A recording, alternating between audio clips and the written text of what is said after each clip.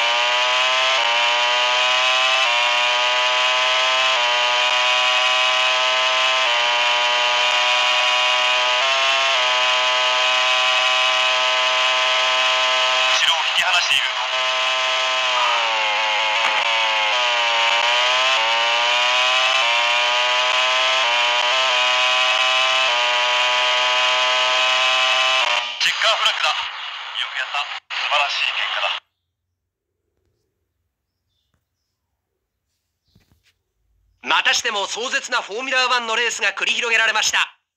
素晴らしいサラザンのドライビングパフォーマンスでした。壮絶な戦いの末素晴らしい結果を勝ち取りました。どうか次のラウンドもお楽しみください。